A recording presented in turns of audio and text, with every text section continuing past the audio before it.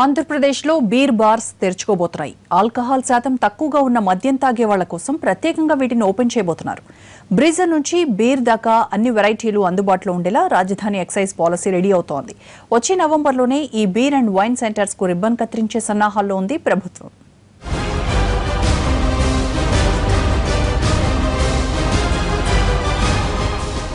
తాగినోడికి తాగినంత అన్నది పాత మాట. వద్దనుకునేవాడితో కూడా ఓసారి టేస్ట్ చేద్దాం అనిపించేలా చేయటం కొత్త పాలసీ. ఈ పాలసీకే మెరుగులు దిద్దుతోంది ఏపీ ఎక్సైజ్ శాఖ. ఏపీలో టూరిజం అభివృద్ధికి అపారమైన అవకాశాలు ఉన్నాయని నమ్ముతున్న ప్రభుత్వం ఆ టూరిజంలో ఒక భాగమైన ఆల్కహాల్ విషయంలో కూడా కొత్త పంత అవలంబించబోతోంది. పైకి కర్ణాటక తరహా విధానమని చెప్తున్న ఫక్తు గోవా తరహా పాలసీ రెడీ అవుతోంది.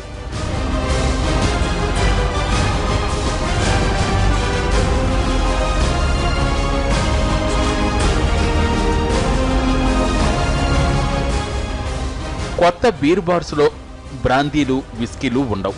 కేవలం బీర్ వైన్ బ్రీజర్ వంటి తక్కువ ఆల్కహాల్ పర్సంటేజ్ ఉన్న మద్యం మాత్రమే అమ్మాల్సి ఉంటుంది నవంబర్లో మొదట రాజధాని ప్రాంతంలో వీటిని ప్రారంభించేందుకు అనుమతులు ఇవ్వబోతున్నారు.